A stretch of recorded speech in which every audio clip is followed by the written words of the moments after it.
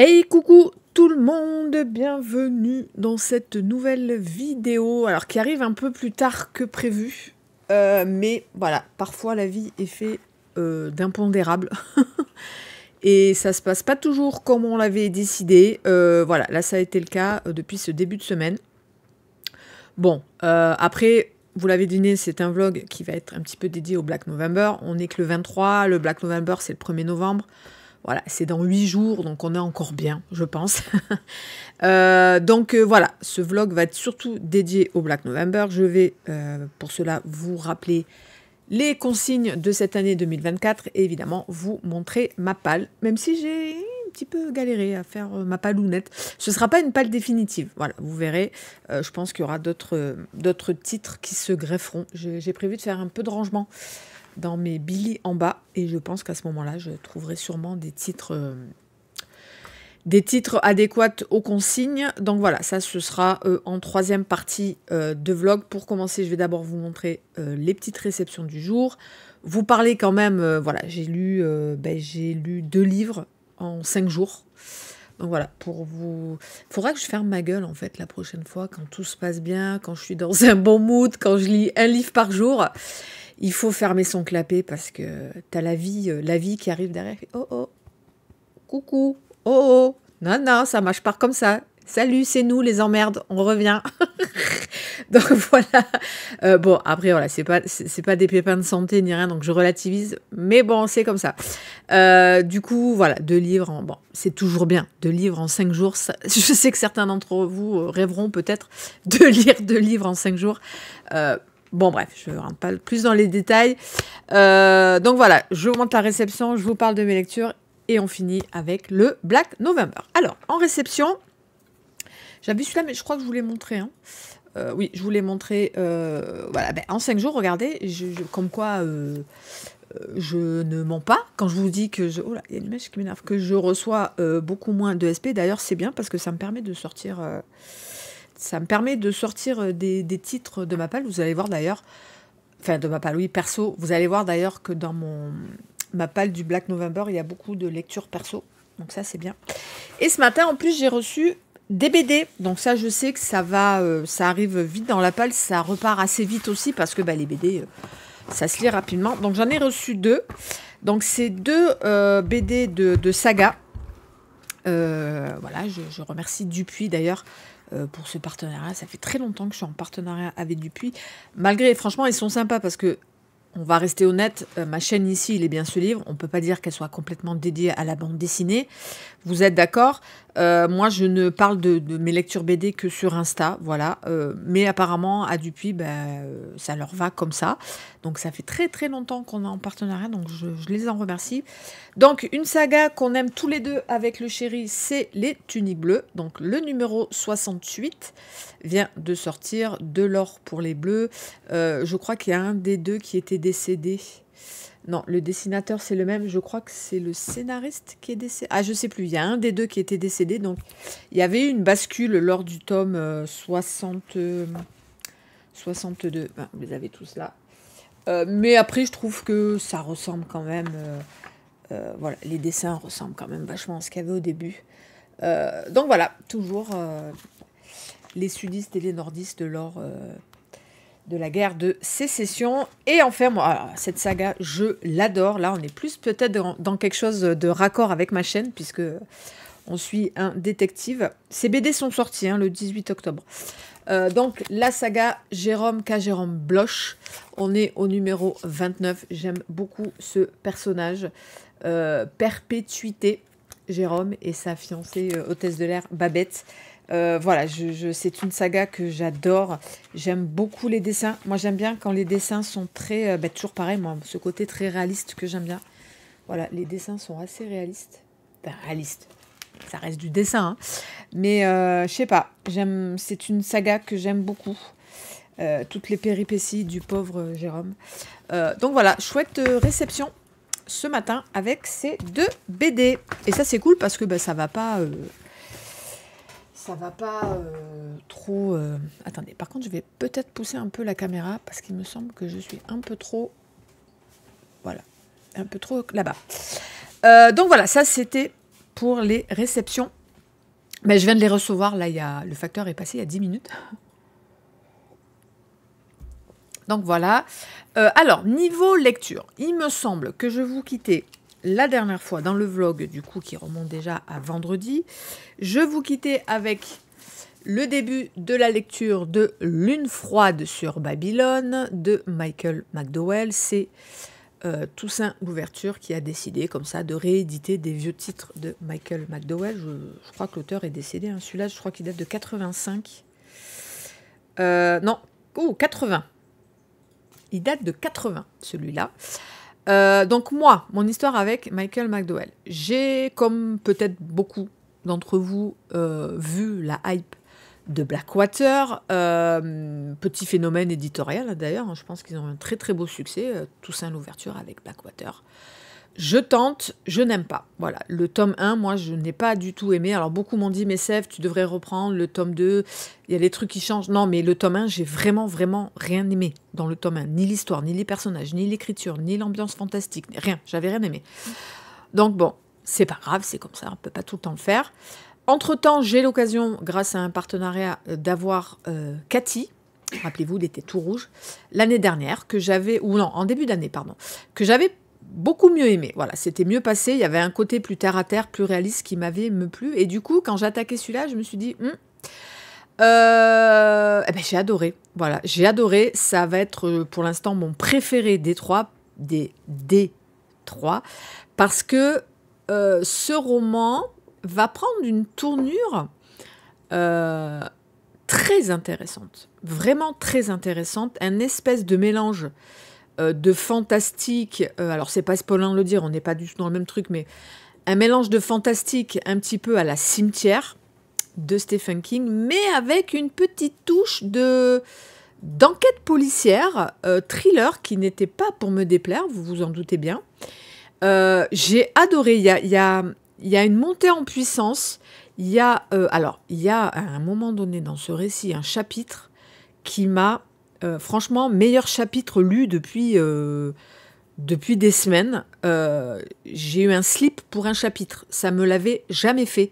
Slip pour un chapitre. Je vais évidemment pas vous dire quel numéro de chapitre, à quel moment, évidemment. Mais waouh, il y a un chapitre qui a créé en moi une espèce de bascule. Et là, j'ai dit, ok, Là, il m'a pécho et j'ai bouffé la suite. J'allais vous dire euh, le nombre de pages, mais j'ai bouffé la suite euh, en ayant vraiment la banane et en me disant waouh, c'est trop bien.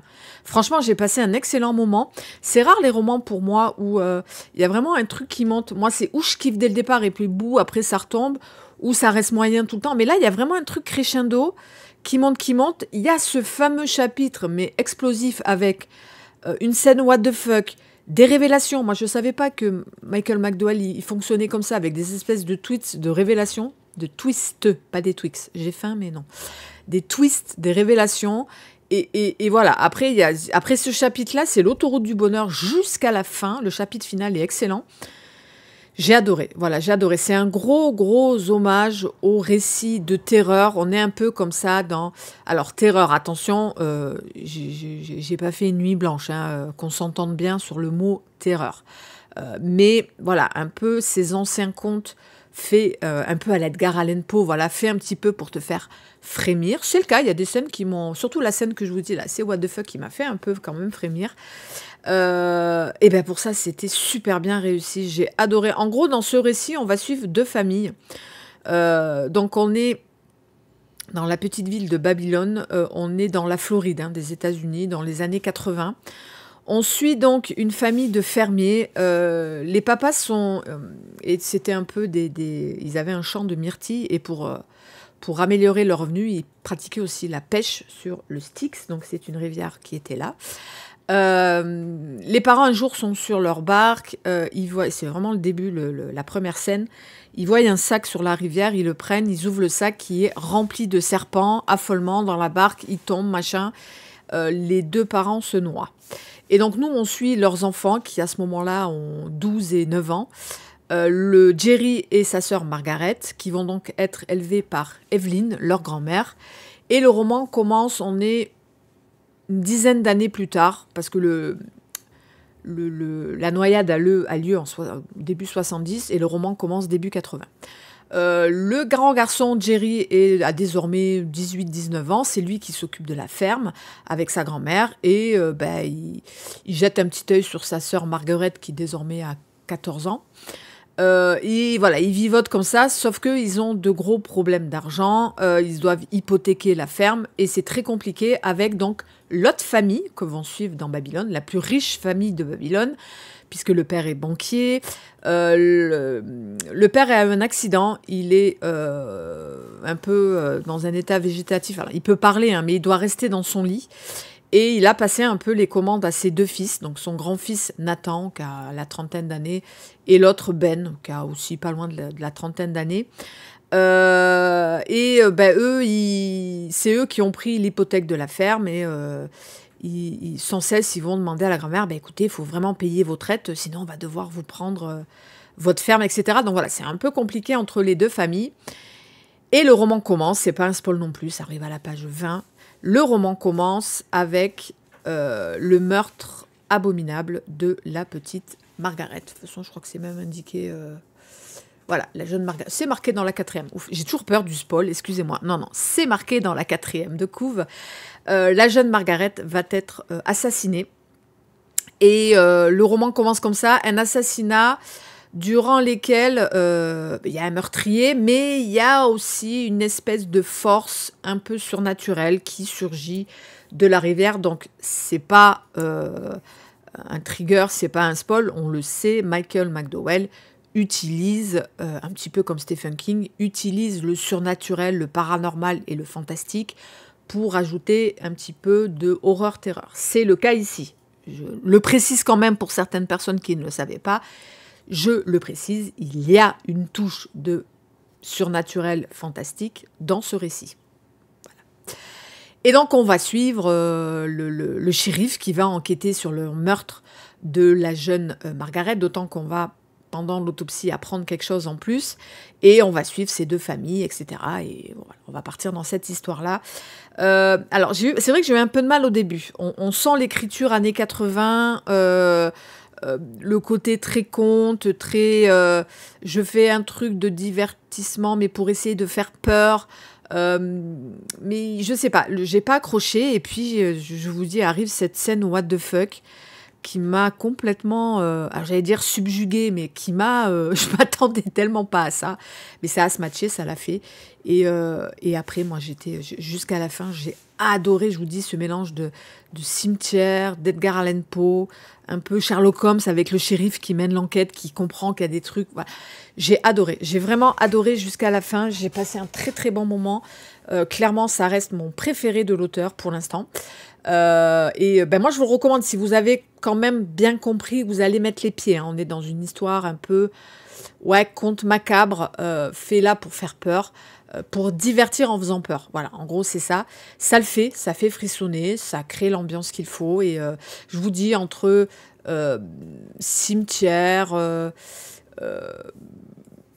sais pas, la, la, chambre rouge, vous voyez, des trucs comme ça. Donc, j'ai beaucoup aimé. J'ai passé un bon moment.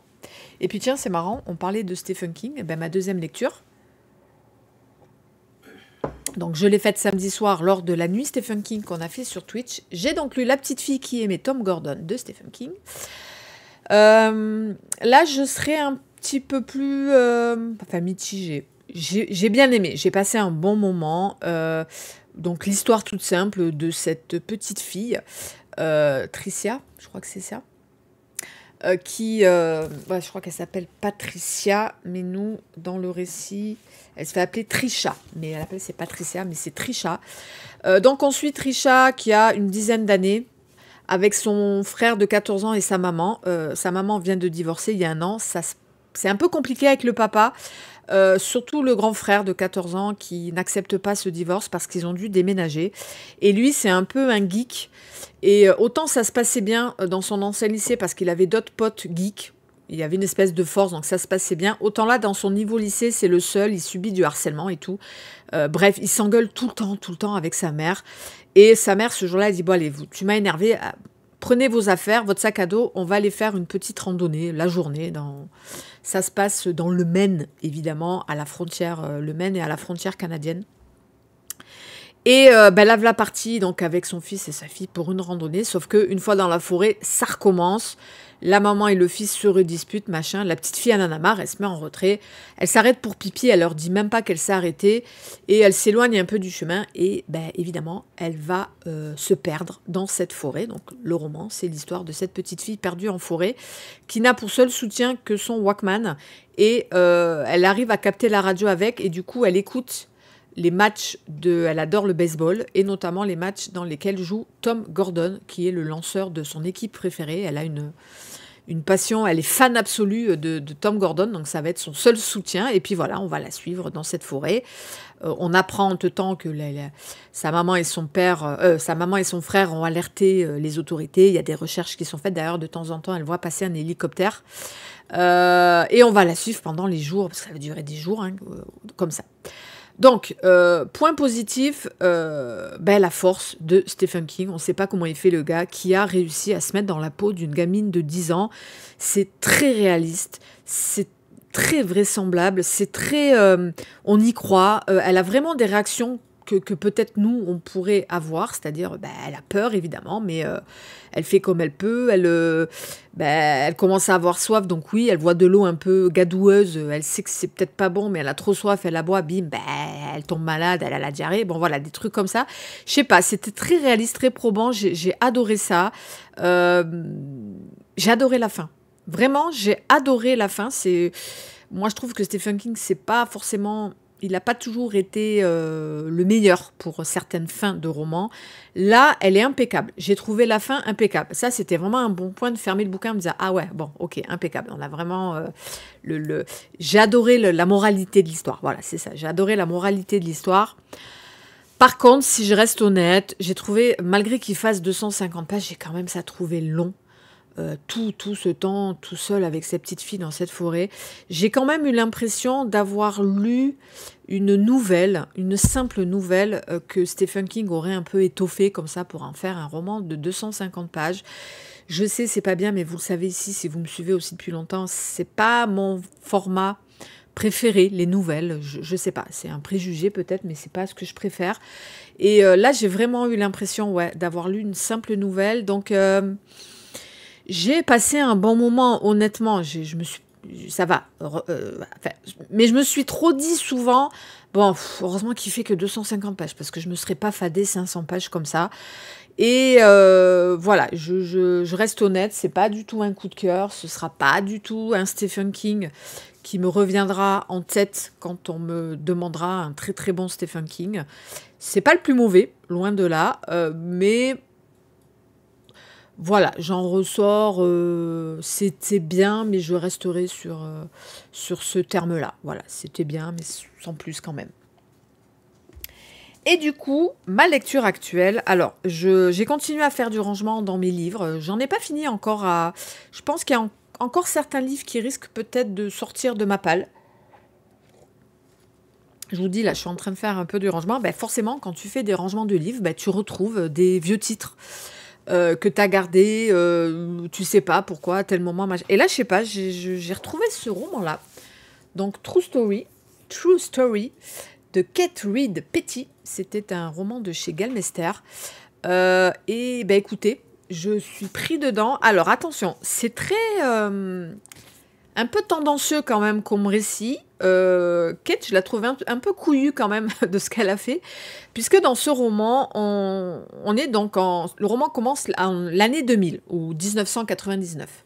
Ouais, on est pendant l'été 1999, on est aux États-Unis, on suit des lycéens, ils ont à peu près 17 ans, euh, une bande de potes, euh, ils viennent d'être pris tous dans leur équipe de... On suit des font de la... Ah, j'ai toujours du mal avec ce terme. Euh, de la crosse. Voilà, la crosse, c'est un espèce de... Euh, comme du gazon, du truc sur l'air. Ah merde, j'ai plus le terme. Euh, mer sur glace, là. Du machin sur glace. Sauf que là, c'est sur... Ah, ça m'énerve, j'ai plus le terme. On en a tellement pas en France. bref, vous voyez ce que c'est la crosse. Hein. Vous avez une crosse, vous tirez une balle. Bon, bref. Ils viennent d'être pris dans l'équipe, donc ils sont contents, tout se passe bien. Euh, du coup, ils côtoient un peu les terminales de leur lycée. Enfin, aux États-Unis, c'est plus compliqué, mais les, grandes années de, leur lycée. Et ils commencent à faire des fêtes, des beuveries. Ils découvrent l'alcool, ils découvrent les pétards, ils découvrent voilà. Et euh, un soir, lors d'une de, ces fêtes de, dans une fraternité, hein, euh, beuverie, alcool, shit et tout. Et donc nous, on suit nos quatre, les quatre narrateurs que l'on suit. Euh, à l'arrière, il y a avec eux une jeune femme, une jeune fille qui était à la soirée. Euh, une jeune fille qui a pas trop l'habitude de, boire. Là, elle a bu plus que d'habitude. Elle est un peu vraiment. Elle a trop bu. Et il va se passer quelque chose. À l'arrière de cette voiture, nous, c'est un peu confus, on ne sait pas trop encore. Euh, mais clairement, il va y avoir viol. et nous, on suit donc tout ça sous les yeux de Nick. Lui, il était à l'avant de la voiture, il n'a pas trop vu. Et euh, c'est un peu couillu quand même de l'autrice de nous faire vivre cette scène-là sous les yeux de ces gars. Ces gars qui, évidemment, pour eux, ben non, c'est normal, on a tous bu, si on fait la fête, c'est pour ça, et puis après tout, elle avait qu'à pas boire. Puis bon, c'est bon, les gars, elle avait mis une mini-jupe, faut arrêter, hein, euh, elle a bien voulu être euh, dans cette voiture avec nous, voilà, le, discours habituel hein, qu'on entend évidemment. Donc déjà, j'ai dit, ouch, ouch, l'autrice, elle fait le, elle fait le pari de, de nous mettre ce point de vue d'abord, Bon, c'est un peu déconcertant, je vous avoue. Euh, nous, on suit ça sous les yeux de Nick qui bah, n'a rien vu, euh, va défendre ses potes. Bon, sauf que très rapidement, on apprend, c'est pas un spoil non plus, on l'apprend à la page 30, euh, cette jeune fille, suite à ça, parce qu'il va y avoir donc une espèce de rumeur qui va monter, suite à ça, la jeune fille va faire une tentative de suicide. Et le roman commence, vraiment le, prologue, on est sur une femme, on est à peu près 15 ans plus tard, on est sur une femme qui euh, vit à Barcelone, donc États-Unis, Barcelone. Elle vit à Barcelone et elle semble euh, vouloir rester cachée dans son appartement à Barcelone. Euh, donc nous, on ne sait pas si c'est cette jeune fille ou pas. Pour l'instant, on ne sait pas. donc voilà, il y a cette petite scène à Barcelone avec une femme qui semble se cacher. Et euh, voilà, moi je suis, euh, voilà, je suis pas loin, hein. je suis que page 63. Et on a déjà vécu ça, euh, cette soirée, dans cette voiture. Et, et voilà, et je suppose, j'espère qu'après, évidemment, on aura le point de vue de la jeune femme. Parce que si, c'est, si pour ces gars, c'est pas grave ce qui s'est passé ce soir-là, je suppose que l'objectif de l'autrice, c'est de me montrer, mais ouais, les gars, pour cette jeune femme, c'était pas anodin. Euh, ce qui s'est passé ce soir-là, ça a peut-être détruit sa vie. Donc j'espère que ce sera ça, mais je sais pas, c'est assez couillu, assez euh, de nous montrer d'abord euh, cette scène sous le regard des hommes et comment eux ils prennent le truc. C'est assez déconcertant, mais je sais pas, ça me donne envie justement de soutenir ce côté très couillu et caméra, tu commences à m'énerver. Euh, et, de voir ben, comment ça va, euh, ça va continuer. Donc euh, je, voilà, je, suis bien, j'ai mis trois post-it, je suis plutôt bien pour l'instant dans cette lecture un peu déconcertante. Allez, sur ce, nous allons donc maintenant passer à la partie, à la dernière partie de ce vlog. En lecture suivante, oui, je peux peut-être vous montrer une petite palle de la semaine, si on est bien avancé. Je pense que, voilà, ben, je vous ai dit, je reçois beaucoup moins de SP, donc je vais sortir un peu mes livres à moi. Je pense que je vais lire ce posta, voilà, qui après nous vivrait d'Hervé Le Corps. Euh, j'ai ressorti, j'ai retrouvé aussi Sans elle, avec elle. Voilà, je pense que je vais commencer sans elle. Donc voilà ce postulat de départ des deux autrices qui démarre avec... On est avec deux sœurs jumelles, elles ont 6 ans. L'une d'elles va être punie ce soir-là. Elle n'assistera pas au feu d'artifice du 14 juillet. Euh, dans Sans elle d'Amélie Antoine, la gamine va disparaître pendant ce feu d'artifice. Je ne sais pas si elle disparaît ou si elle meurt, ou voilà. En tout cas, elle disparaît. Et du coup, nous, on suit l'autre jumelle bah, qui va vivre sans elle, sans sa sœur jumelle. Par contre, là, euh, elle ne disparaît pas pendant euh, ce feu d'artifice, mais la querelle et tout va créer des distensions entre les deux sœurs. Mais en tout cas, elles vont vivre ensemble.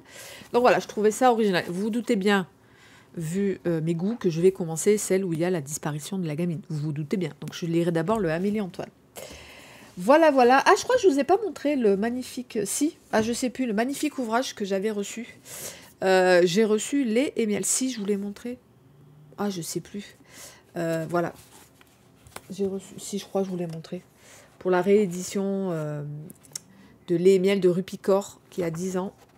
Oui, je voulais montrer ça. Je, me revois en train de... Ou alors c'était en live, je sais plus. Bref, euh, les éditions euh, Charleston m'ont fait le plaisir de m'envoyer donc la réédition. Moi, je l'ai déjà lu, j'ai adoré, euh, mais je le relirai parce que c'était vachement bien. À travers ses dessins et ses petits poèmes, elle nous raconte la vie, comment c'est les femmes et, comment ça se passe avec leur corps pendant toutes les étapes de leur vie. En plus, Rupicor, elle a vécu des trucs pas très cool, donc voilà, j'avais adoré. Donc très chouette réédition, comme ça, ce hardback. Et après, j'avais reçu ben voilà, je savais qu'il y avait deux, il y avait deux trucs que je vous ai pas montré. Le Rupicor, je vous l'avais pas montré. Et j'ai reçu La librairie des chats noirs de Poulixi, qui euh, sera une lecture là, que je vais faire, je pense, pour le soir d'Halloween.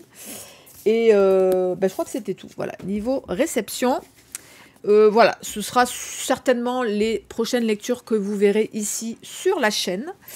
Et nous allons donc maintenant parler du Black November. Peut-être certains d'entre vous ne le savent pas si vous m'avez rejoint depuis quelque temps. Alors, je suis pas sûre des chiffres. Je pense qu'on est sur la huitième ou neuvième édition. Je suis pas sûre. J'ai retrouvé. Attendez, il est où? Euh, Ah, j'avais retrouvé le marque-page qu'une abonnée m'avait offert. Il doit être là. Il est là. Voilà. J'ai une abonnée qui m'avait créé un marque-page de Black November. Elle me l'avait envoyé en 2017. Mais je crois qu'elle n'avait pas fait la première année. Donc le Black November, je me demande si c'était pas en 2016. Donc, ce serait la huitième année, c'est ça? 16, 17, 18, 19, 20, 21, 22, 23. Ah, ou la neuvième. Bon, j'irai voir dans mes archives. Bref, ça doit faire peut-être la. Ouais, je pense qu'elle avait pas. Non, c'est pas possible qu'elle ait fait la première année parce que voilà, je pense que c'est 2016. Donc on est sur la neuvième année du Black November. Donc c'est oui, c'est moi qui l'ai fait. Ça vous plaît? Oh là qui a la référence? Ça vous plaît? C'est moi qui l'ai fait. Référence 1992. Non, en fait, j'avais copié des copines euh, à l'époque qui avaient créé euh, euh, les mois. par exemple, je me rappelle du mois de la fantaisie. Je crois qu'elle fait toujours un Pikiti, le roi de la fantaisie en mai. Euh, Flow Books qui avait créé Mars au féminin. Voilà, il y a eu des trucs de créer. Je me dis, tiens, euh, si je me faisais un petit peu le porte-drapeau euh, du thriller et du roman noir sur YouTube, et allez, on va créer un mois du thriller. J'ai longtemps hésité entre. Ça fait être de Black October. Et puis je me dis, ah bah tiens, novembre, c'est un, peu un, c'est un peu un mois bâtard. Hein. Halloween et tout est passé, Noël est pas encore là. Merde, on se fait chier en novembre. J'ai dit, allez, je vais le faire en novembre, peut-être ça passera mieux. Et donc voilà comment est né le mois du thriller. Euh, le Black November. Alors, le Black November, c'est tout simplement essayer de mettre en avant notre genre préféré. Si vous me suivez, c'est que quelque part vous aimez un peu le thriller aussi. Peu ou prou, mais au moins vous l'aimez. Euh, allez, pendant un mois, on va essayer de mettre en avant notre genre préféré. Euh, alors, c'est très large le terme thriller. vraiment, on va partir sur de la littérature noire. Donc, thriller, roman noir, euh, policier, polar, roman à suspense, roman psychologique, même parfois roman d'anticipation. Par exemple, pour moi, La Servante écarlate peut rentrer ici. Euh, voilà, tous ces romans où il y a une, ambiance un peu quand même noire, euh, obscure. voilà, on n'est pas sur du contemporain, on n'est pas sur de la romance, on n'est pas sur de la fantaisie. Voilà, tout ce genre-là. Mais c'était très simple de juste dire, allez, pendant un mois, on va lire tout simplement du thriller, le plus qu'on peut. Non, on s'était dit, bon, on va un peu se challenger et on va créer des petites consignes et choisir nos thrillers de ce mois de novembre selon des petites consignes. Et je ne sais pas comment est venue l'idée de faire des consignes sur la semaine. Donc, du coup, hop, je vous propose. Tous les ans, on change donc les consignes. Attendez, j'ai peut-être enlevé le renard derrière. Voilà. Euh, donc, c'est là. Tous les ans, on change ces consignes, évidemment. Euh, donc, cette, année 2024, on a quatre semaines complètes, plus une petite semaine, bon, je vais rester comme ça, plus une petite semaine de trois jours, la première semaine.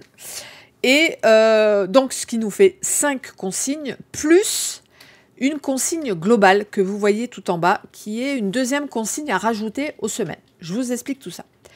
Donc, euh, la première semaine, du vendredi, c'est ça? Attendez, je sors mon calendrier. Oui, c'est ça. Du vendredi 1er au dimanche 3, ça nous fait donc que 3 jours. Il fallait évidemment une petite consigne. Donc, Nous, c'était pour cette consigne tout simplement lire un thriller de moins de 250 pages. Mais si vous voulez vraiment vous challenger de ouf, il faut rajouter à ça la consigne globale tout en bas. Cette année, c'est lire un maximum des livres que vous avez choisir ici, un maximum en lire en format poche. Quand vous n'avez pas le choix, évidemment, ce sera grand format. Moi, vous envoyez euh, la plupart de mes romans ici, ça va être des grands formats. On fait comme on peut. Euh, mais voilà, après, vous tracassez pas. Je répète que vraiment, s'il n'y avait qu'une consigne absolue à retenir, c'est lire un thriller. Voilà, mettre en avant ce mois de novembre du thriller. Donc moi, je vais vous présenter ma palle au fur et à mesure des consignes. Ce sera plus simple. Donc pour ces trois premiers jours, lire un thriller de moins de 250 pages. Alors ça commence déjà par une tricherie parce qu'il en fait. Mais bon, eh, c'est une kiki tricherie. Hein. C'est vraiment la kiki tricherie parce qu'il en fait 252. On n'est pas à deux pages. Donc pour celui-là, moi je vais lire. Par contre, il est poche, donc je ça y est, j'arrive à, unir les deux consignes. Donc, je vais lire pour cette première consigne l'alpha et l'oméga d'Estelle Tarot, sont tout nouveaux, qui fait donc 252 pages. Excusez-moi pour les deux pages. donc, euh, donc voilà, c'est cool. Je, ce sera ma première lecture. En plus, c'est bien de commencer par un petit poste, ça va bien nous mettre dans l'ambiance et tout, euh, et ça va être cool. Alors, la deuxième consigne du 4 novembre, donc du lundi 4 au dimanche 10, euh, lire le premier ou le dernier tome d'une saga thriller. Que ce soit une saga qui est terminée, je pense par exemple à la saga du département V de Jussi Alder Olsen. Donc si vous respectez la consigne, vous devez lire soit Miséricorde, le tome 1, soit le tout dernier, 9 mètres carrés, le tome 10. Voilà, vous avez compris le principe de cette, de cette consigne, lire soit le tome 1 d'une saga, soit le dernier. Évidemment, si c'est une saga en cours, pareil, soit le premier, soit le dernier qui est sorti. Voilà. Et pour cette consigne, je vais donc lire le tome 1 de la saga de Tempérance Brennan, euh, Aka Bones, je crois que c'était ça quand ça a été adapté, c'est marqué là, Aka Bones, c'est la, la, série télé, et ce tome 1 s'appelle déjà Dade. Euh, et euh, alors celui-là, en plus, je vais le faire rentrer dans deux consignes, vous verrez. Comme ça, ça me laisse le choix si j'ai pas le temps en première. Donc c'est le tome 1 de la saga de Tempérance Brennan. Donc en plus, il est en poche, ça tombe très très bien. Et le deuxième, il y a déjà tricherie. Est-ce que pour l'instant, une saga qui a juste deux tomes, c'est considéré comme une saga? Ouais, bon, c'est peut-être une duologie, mais ça peut être une saga. Non, honnêtement, je pense qu'il y aura d'autres tomes de cette saga. Donc je vais lire le tome 2 de la saga euh, Sana et R. Pedersen. Donc de cette autrice suédoise. C'est ça. Donc, l'autrice suédoise Maria Grun, je n'ai pas pu lire le tome 1 qui s'appelait La fille renard. Tant pis, je vais commencer par ce tome 2. Ben, ça match, hein, c'est le. Oui, je suis désolée, c'est le dernier tome euh, d'une saga en cours. C'est le tome 2, mais voilà. Oui, bon, vous aussi, vous trichez, je vous vois, hein. je vous vois tricher hein, pour les consignes. Non, je, voilà. Ben, au moins, je vous montre l'exemple qu'il faut pas se prendre la tête, faut pas être strict. Euh, je répète comme tous les ans, il n'y aura pas de police de vérification des consignes. Vous faites bien comme vous voulez, je répète. Le principal, c'est de sortir du thriller. Et là, on est à fond dans du thriller. Donc voilà. Euh, mais en tout cas, je suis ravie de découvrir cette saga suédoise. Ensuite, pour la troisième consigne, non, oui, la troisième consigne qui se passera donc du lundi 11 au dimanche 17, il faudra essayer de lire un thriller dénonçant le racisme. Alors, le racisme dans son terme le plus large, c'est-à-dire le racisme, la ségrégation, l'esclavagisme, euh, tout ce qui est arrivé au peuple autochtone, euh, aux États-Unis, euh, dans tous les pays, en Afrique, en Asie. bref, vous voyez le, terme très large autour de ce terme racisme. moi, pour l'instant, j'en ai deux. D'ailleurs, j'en ai oublié un. Il est où? Il est là. Donc moi, j'en ai choisi deux pour cette euh, consigne-là. Donc le dernier S.I. Cosby, Les routes oubliées, c'est le dernier qui me reste de l'auteur. Donc un auteur lui-même euh, euh, noir américain qui est un auteur vraiment engagé pour la lutte, pour montrer le, racisme ordinaire aux États-Unis. Et donc bah là, c'est le premier qu'il avait écrit. Je remplis aussi la consigne poche, donc c'est cool. Euh, donc, ce SI Cosby est. Euh, alors, Je pense aussi quand même que dans ce récit, elle, euh, parle un peu quand même du, racisme. Oui, oui, on est sur une communauté aussi noire, voilà, afro-américaine, c'est ça. Les Égarés de Ayana Matisse. voilà, il, fait presque 500 pages. c'est un, des derniers SP hein, qui me reste de chez celui-là de Gelmester. Il commence à prendre la poussière même. Donc voilà, je suis pratiquement sûre que c'est que ces des récits mettent en avant euh, notamment donc là le racisme euh, noir américain. N'hésitez pas, euh, je vais vous mettre là, en, je crois qu'il y est déjà, je vous mets en barre d'infos le groupe du Black November sur Facebook. les copains nous ont donné plein plein d'idées pour les consignes et d'ailleurs il faut que je mette la... Il reste plus que la dernière consigne qu'on doit mettre en ligne. Mais vous avez déjà des idées pour la deuxième et quatrième consigne. N'hésitez pas à aller sur le groupe. Là, je vais mettre en ligne après pour la cinquième consigne. Ensuite, euh, alors vous voyez que je reste, je mets à peu près moi que deux titres par saison. Je mets deux titres par consigne parce que euh, d'habitude j'en mets 5-6 par semaine et c'est ridicule, ma palle elle est tout le temps ridicule du Black November. Donc là je reste plutôt réaliste parce que je pense que se grefferont aussi euh, probablement des SP qui vont arriver. donc voilà. Pour la Quatrième consigne, donc c'est du lundi 18 au dimanche 24, lire un thriller dont le titre comporte un mot du champ lexical de la mort. Donc le mieux c'est d'aller sur Google, vous tapez champ lexical de la mort, je ne les ai pas mis parce qu'il y en a au moins 100.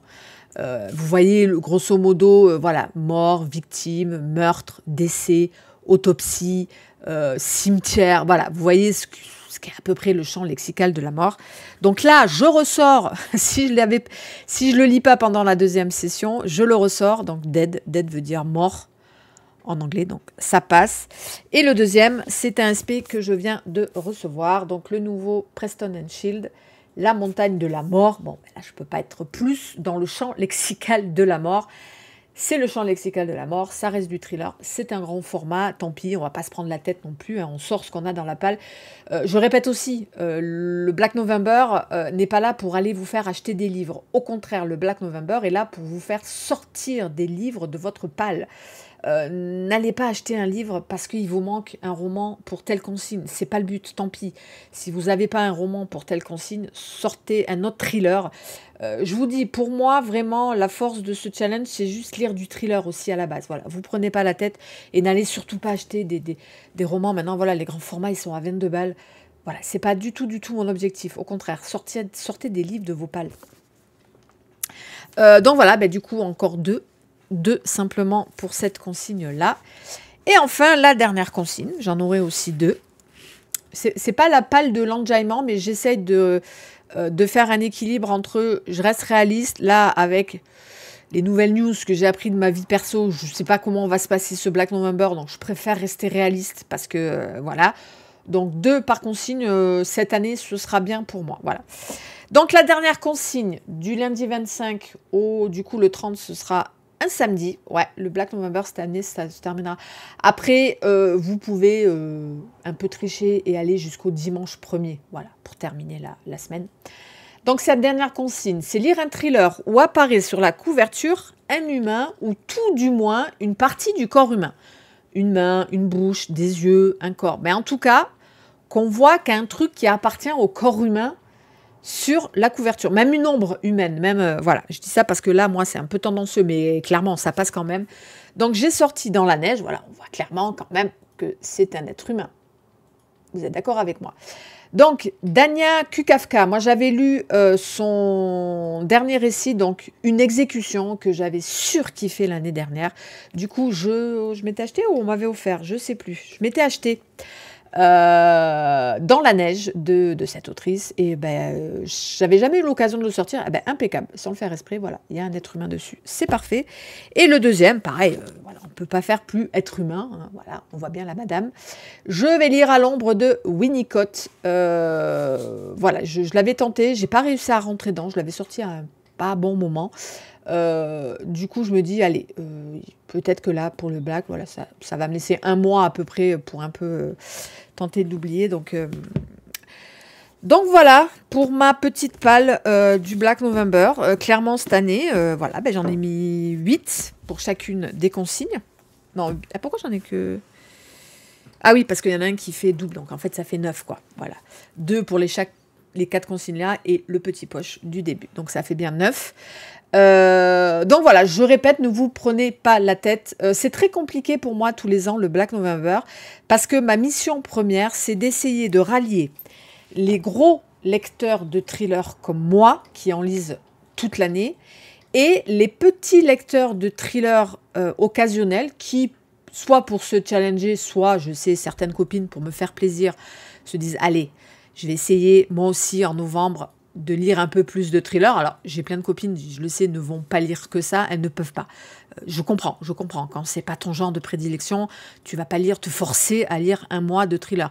De même que moi, euh, malgré l'amitié que j'ai pour Steve Piketty, je ne pourrais pas passer tout le mois de mai à ne lire que de la fantaisie. C'est juste impossible, mais je comprends très bien. Mais voilà, les lecteurs occasionnels qui, pour le coup, se disent, allez, allez, c'est Black November pour faire plaisir à Seb, je vais essayer de lire un peu du thriller. Euh, et c'est dur à associer les deux. Euh, c'est pour ça que les consignes, euh, on, les met en place avec les copains en live pour essayer de trouver des trucs qui rallient un peu les deux. Que ce soit pas très compliqué pour les petits lecteurs, mais nous, les gros lecteurs, faut quand même un peu qu'on se challenge. Là, voilà, j'espère avoir trouvé un bon consensus pour rallier tout le monde. J'espère, mais je répète, ne vous prenez pas la tête. Le but premier, c'est simplement de lire un peu plus que d'habitude du thriller du 1er au 30 novembre. Voilà, je pense que j'ai à peu près tout dit. Il y aura évidemment des concours, je suis en train de les mettre en place. Euh, pareil, les concours, je me rappelle lors du premier Black November euh, avec mon mari, on était des oufs, je crois qu'on en avait fait un par jour. Voilà, on avait fait un concours par jour. Euh, c'est maintenant plus possible d'un point de vue organisation. je vais en proposer un par consigne. Voilà, je vais rester euh, parce que c'est du boulot hein, d'organiser les concours, il faut aller voir les maisons d'édition, c'est tendancieux. Déjà, nous, des fois, on galère à avoir des SP. Alors, vous tenez bien que pour les concours, c'est un peu tendancieux. Euh, j'en ai déjà un de prévu. Euh, je, vais offrir ma box que j'avais reçue de la part de Hauteville d'un roman coup de cœur, donc Retenir l'hiver. Ce sera peut-être dès la première semaine. Et, après, je vais aller voir pour proposer des concours. Qu'est-ce que j'ai d'autre à dire? N'hésitez pas, si vous êtes vous, auteur, créateur euh, d'objets euh, littéraires, machin, si vous voulez euh, proposer un concours pendant ce Black November, n'hésitez pas. Et enfin, voilà, je crois que j'ai tout dit. De toute façon, le mieux, c'est de rejoindre le groupe Facebook. Et voilà, là-bas, il y a régulièrement... Il y a les pales des copains aussi. N'hésitez pas, hein, si vous postez vos pales ici sur YouTube, Insta, n'importe où, vous me taguez. Et je partagerai les pales. Ça donne de bonnes idées aux copains, les pales. Euh, voilà, je crois que j'ai à peu près tout dit. Alors, je ne sais pas si cette année, je ferai euh, un live récap.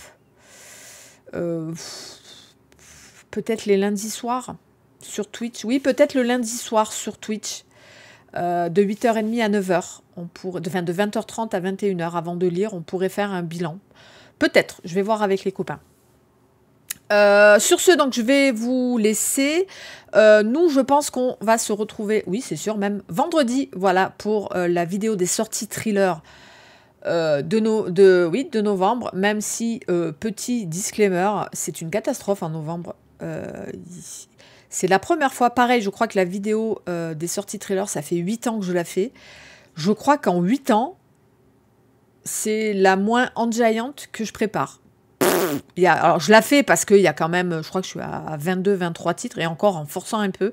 J'ai hésité honnêtement à la faire hein, parce que euh, déjà il n'y a qu'une vingtaine de titres et clairement euh, c'est beaucoup des intégrales ou des collectors qui sortent. Mais en nouveauté, Bon, on la fera quand même euh, vendredi, ça permettra quand même de, papoter, discuter. Mais voilà, quoi, je vous préviens déjà, ce ne sera pas la grosse ambiance. Hein. Bref, je vous laisse. Je vais vous laisser vous préparer tranquillement vos pales de ce Black November. Donc n'hésitez pas à me taguer si vous l'avez fait ici sur YouTube, Instagram, Facebook, TikTok. Vous me taguez, j'irai voir et surtout je partagerai. Et euh, ben voilà, on se prépare. Donc euh, top départ le vendredi 1er novembre. Euh, ou plutôt le jeudi soir. normalement, jeudi soir pour Halloween, je fais toujours une soirée spéciale. Alors, toujours pareil, selon comment dans ma vie perso ça va être, mais normalement, euh, le 31 octobre au soir, je fais un gros live et à minuit, on lance officiellement le Black November. Donc n'hésitez pas, dans une semaine, enfin jeudi d'après, là, à nous rejoindre pour Halloween. Voilà, je vous laisse parce qu'il est 14h, les copains m'attendent pour aller lire en Read With Me. Euh, donc voilà, je vous souhaite un très très bon euh, Black November. Euh, merci de me soutenir moi et aussi de soutenir mon genre de prédilection. J'espère être la personne la plus légitime, adéquate à faire ce... Enfin, je ne suis pas la seule, hein, mais je, me, donne un petit brin de légitimité quand même pour proposer ce mois du thriller. Voilà, je vous laisse, je vous remercie. Je vais donc rejoindre les copains pour continuer ma lecture. Elle est où? Je l'ai perdu. Il est là, donc continuer ma lecture du True Story. Voilà, je ne sais pas ce que je vais lire après on verra. Allez, je vais aller ranger ma palle du Black November. Je vous embrasse très fort. On se retrouve vendredi pour les sorties thriller et sûrement lundi prochain pour un nouveau vlog. Je vous embrasse très très fort à vos pales et surtout je vous souhaite de très très bonnes lectures. À plus tard. Bisous, ciao.